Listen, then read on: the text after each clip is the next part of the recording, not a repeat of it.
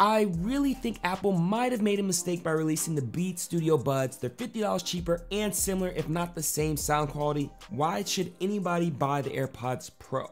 Well, in today's video, I'll be sharing my honest thoughts on the Beats Studio Buds after using them instead of my AirPods Pro for the last three months. If it's your first time here, my name is Noah and I make videos on the best health and wellness tech you should be paying attention to. So let's dive right on in into the Beats Studio Buds. Now, one of the first things I recognized was a new design. It's a very different approach from the recent Powerbeats Pro that Apple put out and I did a review on a little while back. It comes in three different colors of black, white, and red, and it comes in a smaller case, very similar to the AirPods Pro design design, but I would say it's maybe a little bit less on the build quality perspective. The headphones themselves are now this new bud type design without the ear hook, and it comes with three different sized ear tips, including small, medium, and large. The Beats Studio Buds now come with a new USB-C charging port, which allows for eight hours of listening time, and the case itself will give you around two full charges, so you can have up to 24 hours of playback. And it also has the fast fuel charging where you can charge for five minutes and get an hour worth of playback. And lastly, it comes with the IPX4 sweat and water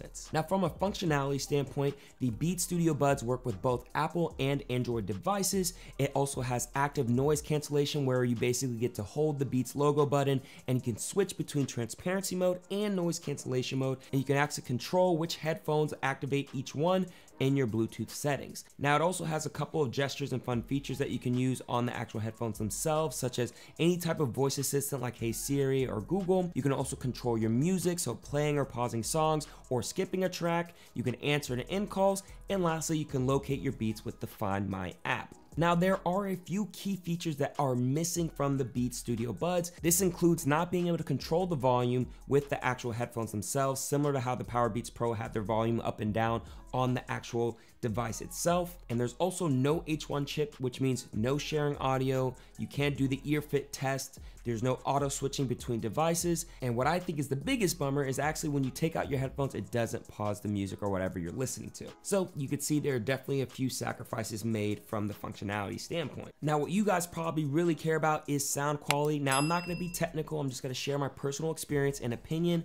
From a music perspective, it does have a good bass and clear levels. It's not so overly powerful on the bass like old Beats headphones, which I do like. And I didn't feel like I had to increase the volume of my music or podcast so loud just to hear it. Now, from an active noise cancellation perspective, the AirPods Pro are a bit stronger in my opinion, but I still feel like I can get into my own world when I'm riding on a train and only hear faint noises in the background. And then when in transparency mode, it's pretty decent when it comes to me trying to be aware of the different sounds around me, whether I'm in an airport trying to hear about my gate, it works pretty well. And then lastly, from a call quality perspective, I didn't really experience any issues when I was talking to anybody on the phone. I did get the feedback that if I was cooking or doing dishes, it does seem to pick up a little bit of those background noise. Anyway, you let me know what you think in this test.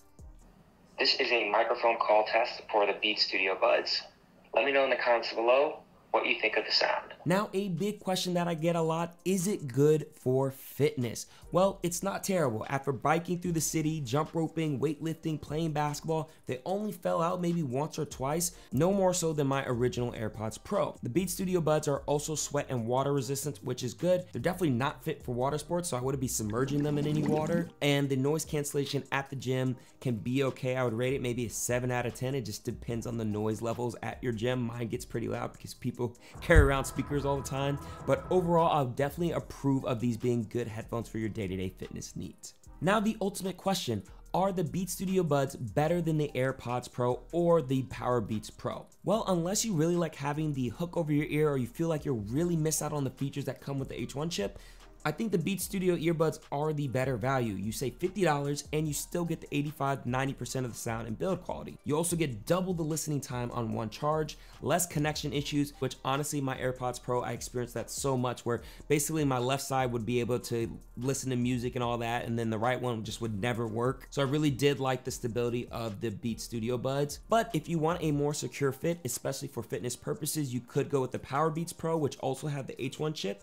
You will be sacrificing a bigger case, a couple of the software issues, and it's a little bit more expensive being at 199 or I think maybe 175 on other sites like Amazon. But I definitely say it's a better buy over the original AirPods, no question, just for the new features and the noise cancellation alone. So yes, I think Apple did a great job with the Beats Studio Buds and I definitely recommend you consider them if you're in the market to replace or get new headphones for working out or even just day-to-day -day living. If you are wondering where the best place to buy these headphones or any of the headphones that I mentioned, make sure to check the links in the description box below. Just as a heads up, those links do give a kickback for our channel with no extra cost to you. Anyway, I hope this video was extremely helpful for you. If it was, go ahead and pound that like button, subscribe if you haven't already, and as always, embrace the hype. Woo!